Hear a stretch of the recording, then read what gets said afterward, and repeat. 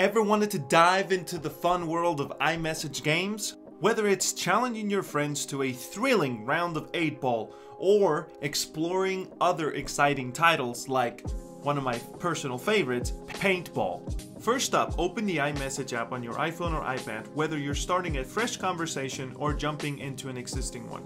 Inside your conversation, tap the plus icon located on the left of the message input box. Simply open the iMessage store, which functions like a mini app store, and search for Game Pigeon. Tapping it unveils all the Game Pigeon games at your fingertips.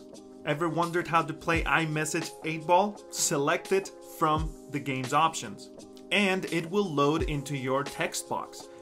Do note that some games for example, Crazy 8 require more than two players, so three to six players.